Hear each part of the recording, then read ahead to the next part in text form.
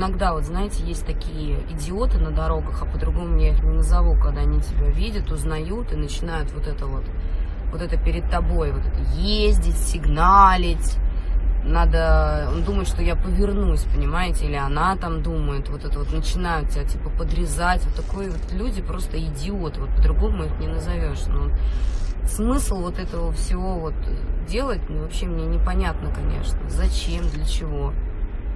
Ну, это я себе не могу представить, что я еду такая, узнала кого-то, и давай вот, знаешь, как ненормальная вот это вот кружить перед человеком. Зачем это делать? Ну, чтобы что, вот я не понимаю.